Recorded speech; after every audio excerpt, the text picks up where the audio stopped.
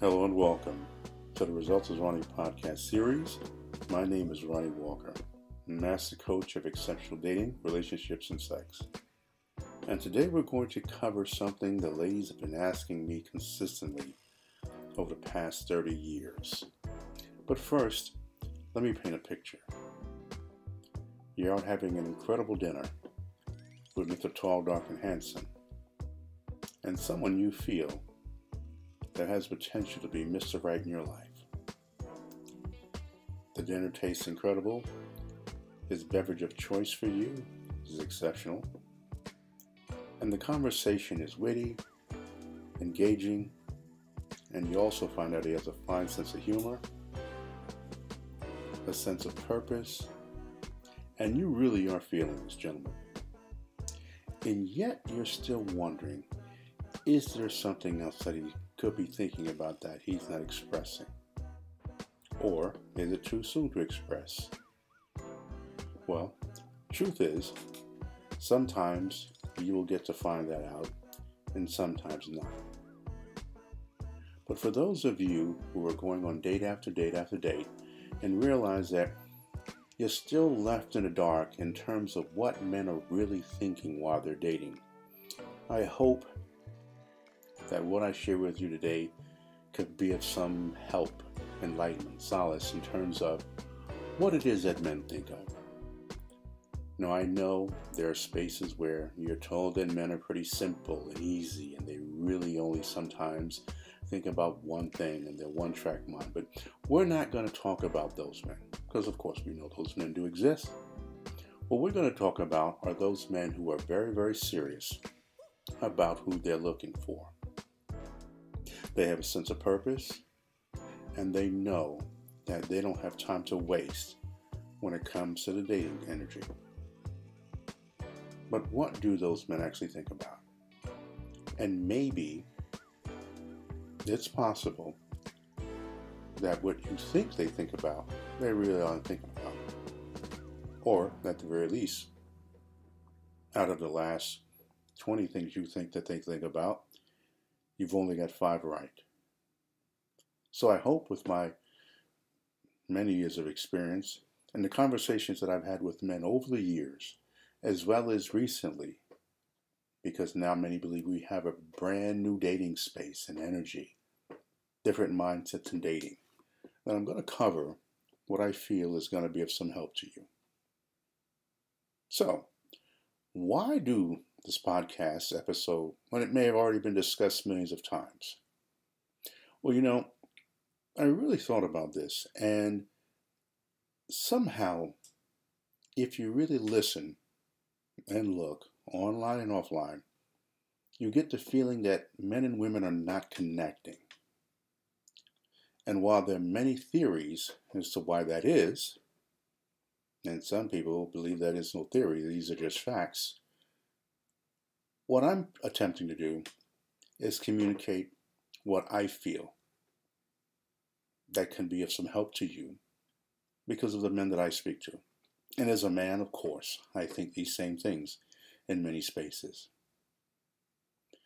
Another reason is that men and women listen differently. And no matter how many people want to change this, it won't. You know, it's, listen to me, it's futile to try to get men to listen like women. And women listen like men. And this is constant battle. We hear things differently. Women hear things differently. And so, what we have to get better at is being able to communicate with each other. Now, we do know there's some things, of course, we hear the same.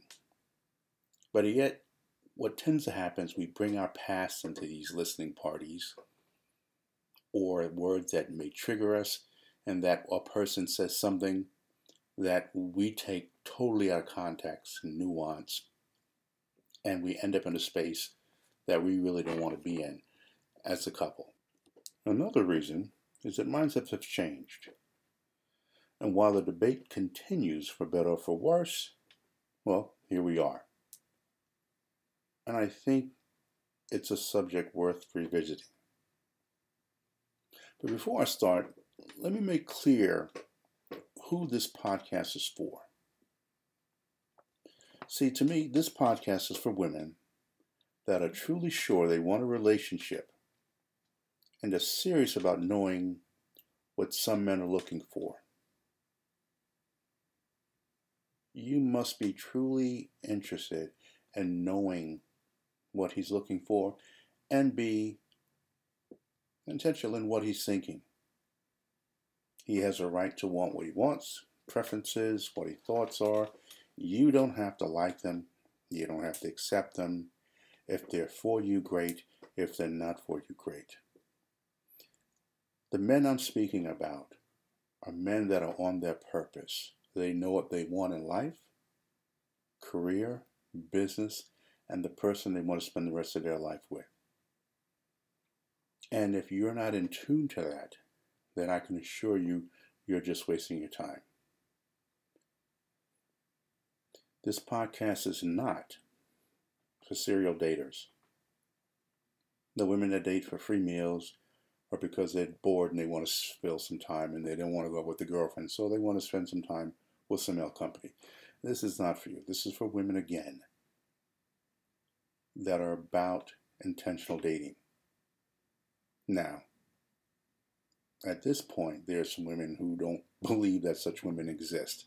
And I can assure you, ladies, there are some women who will, in some spaces, admit that that's what they do.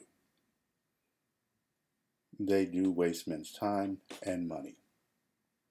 And men have now become wise to this. Hell, there are even studies out there now that show that. I can't remember this percentage, but it doesn't matter. If it's only 1%, it's still too many. Men, like women, do not like their time and money wasted. So, this podcast, again, I repeat, or for the women that have intentions and pure intentions in their dating. This podcast is for women that accept that it's not only about them, it's more than one person in this space. Now, I can go on and create a much longer list, but I think you get the gist of what I'm expressing here. So, without further ado, what are men thinking while dating? Well, now, while I'm listing this in a particular order, there really is no set order to this. Just take some time, breathe. If you want a pen and paper, feel free to do it as well, or replay the broadcast, and just take some time to step back and just listen and know that I'm not trying to say that this is something set in stone, but again, these are things that I've heard from men in discussions, personally, professionally, over the almost 30 years of me doing this. I can definitely wholeheartedly, wholeheartedly co-sign on this because as a man, I've thought the same things. So again, just know that I'm sharing this in hopes of helping some of the women that are out there that are genuinely challenged in what men are thinking and what they can better do to understand where we are. When you understand that a relationship is about two people and possibly more if you have children. And don't forget family members that are also part of this future that you're looking to build together.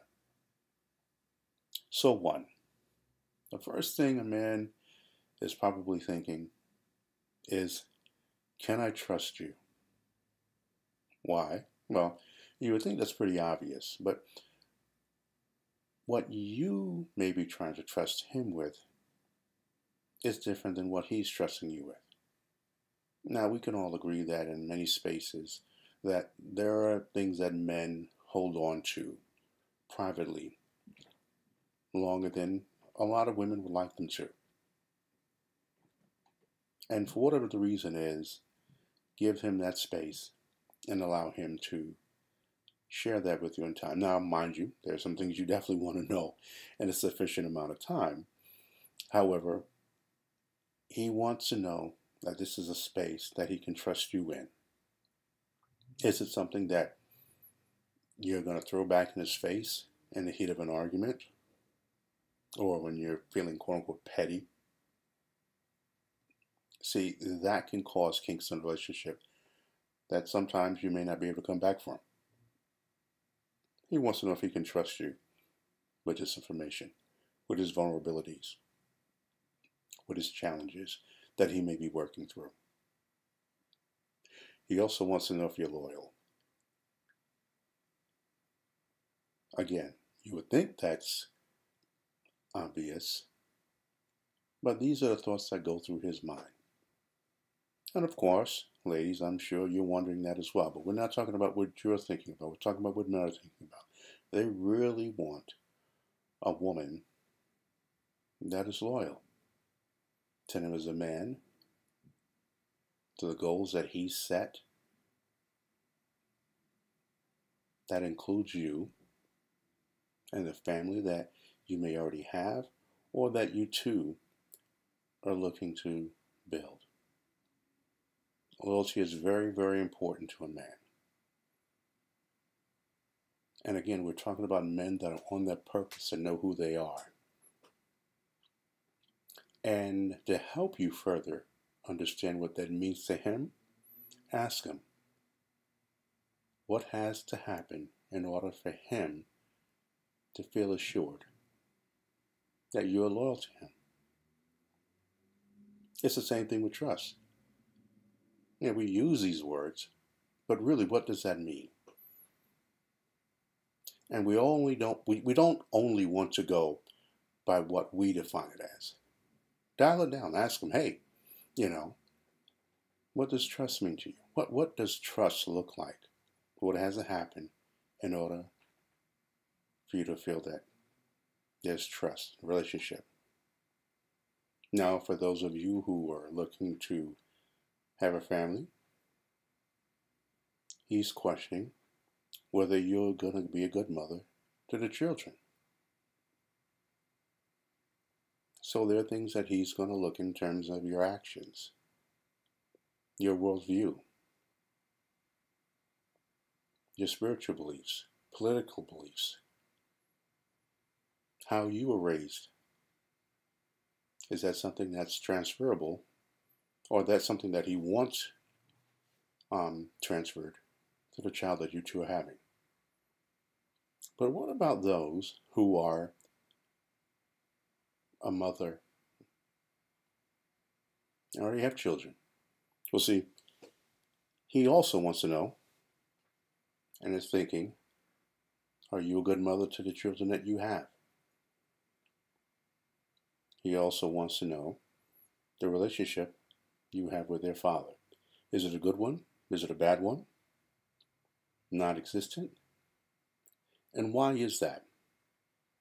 Now, ladies, as I go through these questions, there's nothing wrong with being proactive. And many are. They really have no problem sharing what or they're sharing or being proactive in terms of the questions that they feel he's going to ask. And that's great. I commend you on that. But I can assure you at some point or other, he's thinking these things if you're looking to have children with him or if you already have children.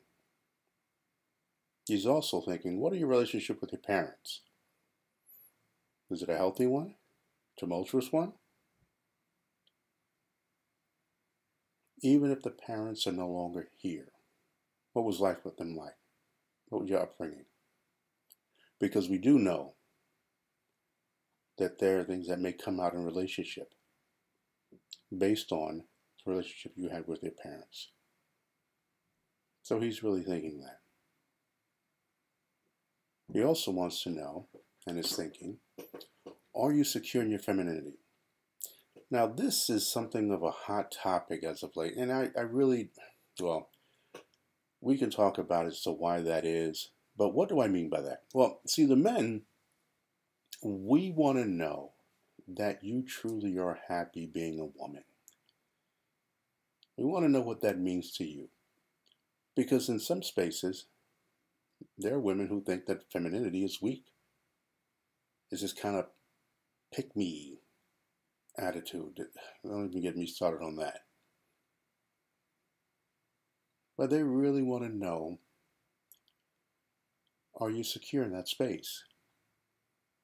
And are you looking at it and do you feel and believe that is the powerful, beautiful force that you've been given?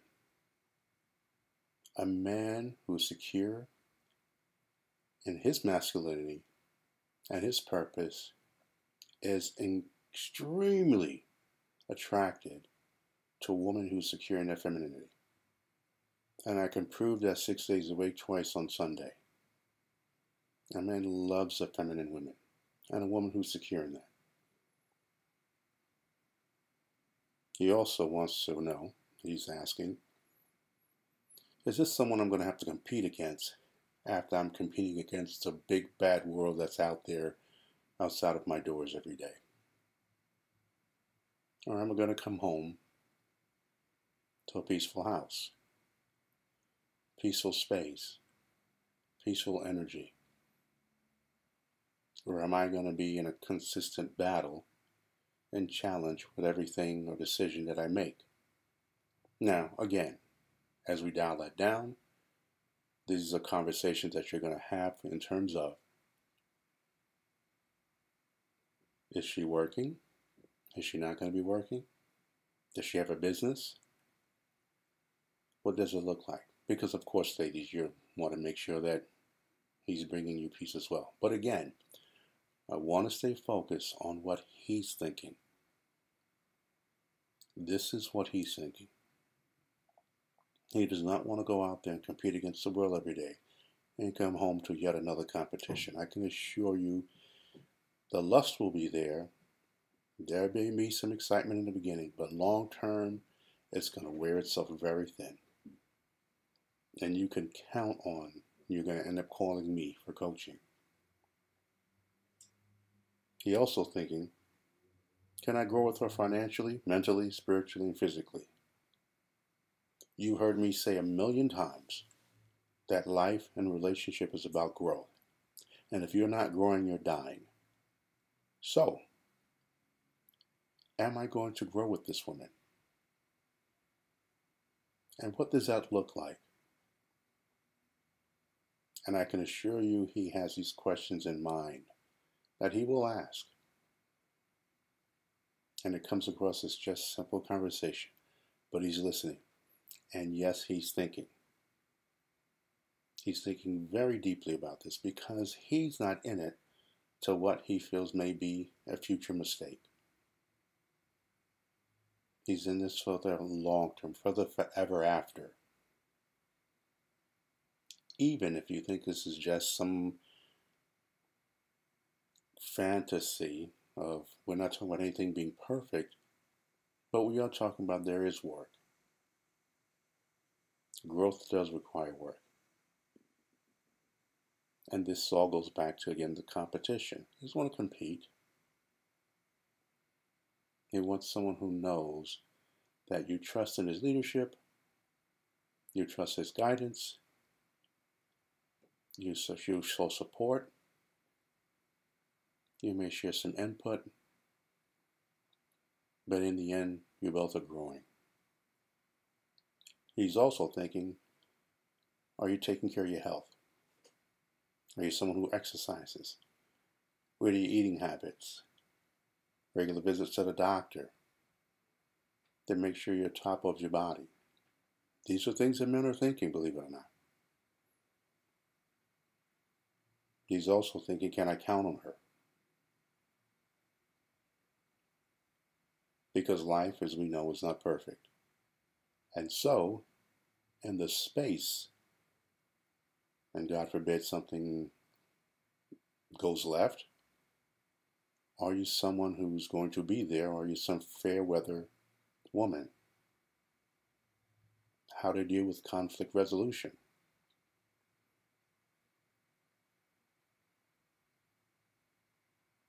There are things that may happen.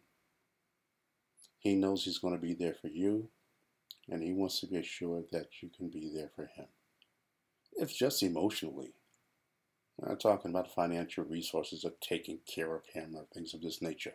We want to know are you someone who can speak life? when there are those challenges that may just take a little wind out of the sail.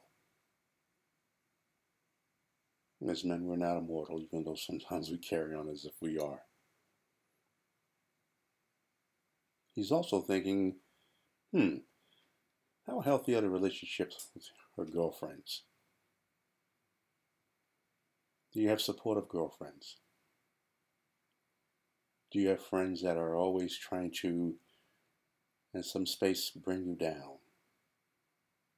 Do you have, quote unquote, those haters in your relationships with your girlfriends? He wants, he's really curious about that.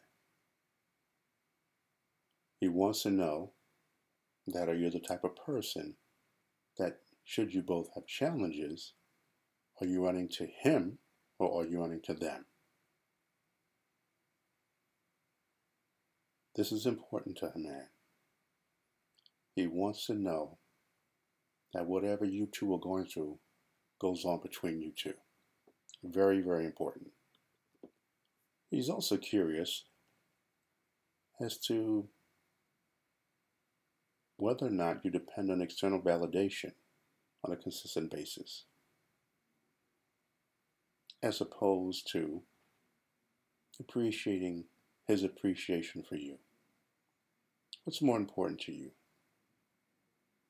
especially in the world of social media, you find women all the time that it seems as though that women in relationships and married care more about the validation of others who they hardly know as opposed to the validation from their man. Now, if that doesn't apply to you, then don't feel any way about it. But yes, there are women. Because what tends to happen is that that validation, and all it takes is that one instant message, and the whole relationship goes left. One bad argument or disagreement, and instead of working out with him, you shoot that external validation. And if there's one thing a man with a bad intention who's out there in the internet universe knows, is that it's all about timing. And if he can catch you at the right time, when you should be working on that healing with your partner, he's there to make you feel as though. And next thing you know, you're in breakup season or you're in divorce court. Again, we're getting back to loyalty. And are you secure in who you are? as a woman and in your relationship and the relationship that you have with him. He's also thinking that she have a relationship with God. Now, what is our spiritual beliefs? Do you believe in prayer? Now, of course, this may not be the case of all men. There are men who do have a very solid, what they feel is a very solid and healthy relationship with their Maker. And this is the type of woman that they're looking for a woman that has a secure relationship with their maker. He's also thinking, what role does she want to play in the relationship? What do I mean by that? Well, women, at least, again, let me say some, tend to take the lead in a relationship. And, you know, in a lot of ways, well, in some ways, they really don't intend to emasculate a man. But when I said earlier about you securing your femininity, and there is strength in that, but being secure and making sure that you are allowing a man to be a man. You don't take his masculinity as toxic or oppressive or the, the dramatic spaces that certain women take masculinity to be somehow femininity is weak, masculinity is toxic, and somehow there's some space in between that they've come up with some name or whatever. I, I can go on and on. But my point is, what role do you want to play?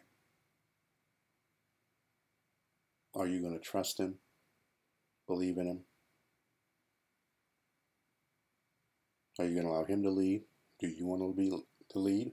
And again, if that's the type of relationship that you are working towards, then just make that known. I'm not going to sit here and say whether that's a bad or good thing. I'll let you decide that. I'll let him decide that. But be clear on where you choose to be in the relationship. You know, do you have a problem with a man being secure in masculinity? Now, some women say no, but you'd surprise how, after further listening to some women, they really do. And that could be from something they've read, some experiences they had in bringing up, that growing up, or past relationships. Allow a man to be a man.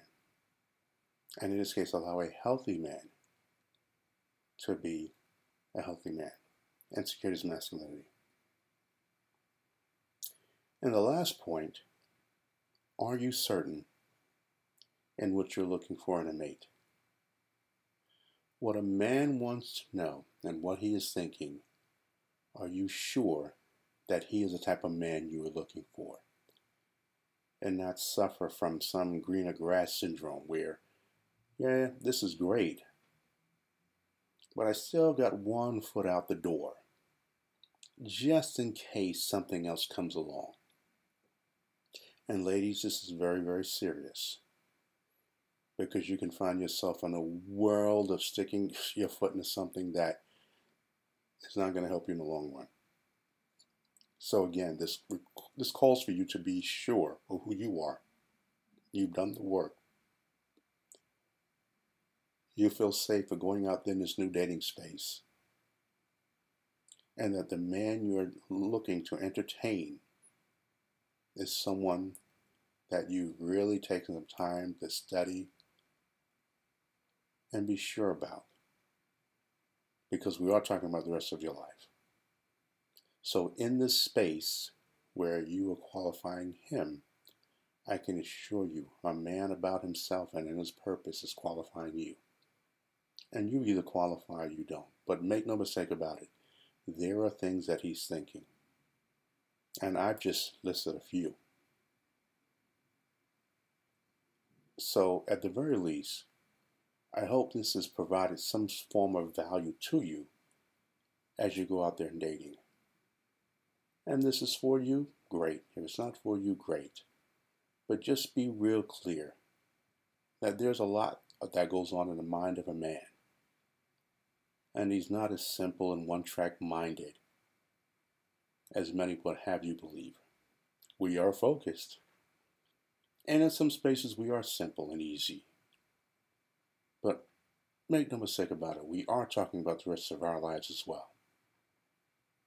And we want to make sure that we're making the right decision. And while we're not in a perfect world, we want to make sure that we lessen the odds of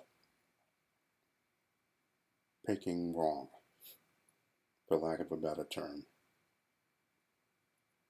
I also want to mention that this episode is sponsored by Balance with Dinah J. Again, that's Balance with Dinah J, a talk show that is, you know, speaks on so many great conversations and subjects, great interviews. I suggest you go to Facebook and look her up. Also, she has a YouTube channel, subscribe. Balance with Dinah J. And again, I'm so happy to have her as a sponsor in this season of the Ronnie Walker podcast series. So, with that being said, my name is Ronnie Walker. You can find me on resultswithronnie.com. That's resultswithronnie.com. On Instagram, official Ronnie Walker. You can also reach this podcast at MrRelationshipMan.com I also have a whole website for men and the resources, and that is MrRelationshipManCave.com. That's MrRelationshipManCave.com.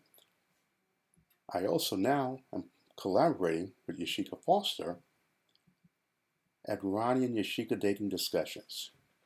So I'm really expanding my reach and trying to meet as, you know, reach out to as many men and women as possible and hoping that these years of service that I have to many couples, singles, and relationship transformations, that I can provide some value to you